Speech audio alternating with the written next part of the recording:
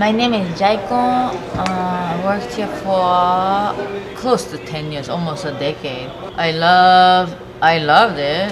I still love it. I love the food. Oh, it's so sad because I don't know, honestly, like where else do you find people who are really making it so real, like so really natural food.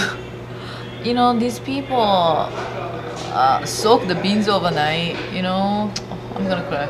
It's so sad. It's and you know, soaking the seaweed overnight, like like grandma style, like Japanese grandma cooking, basically. You know, and then I wanted to eat here when I'm the grandma, and uh, yeah, it's it's sad.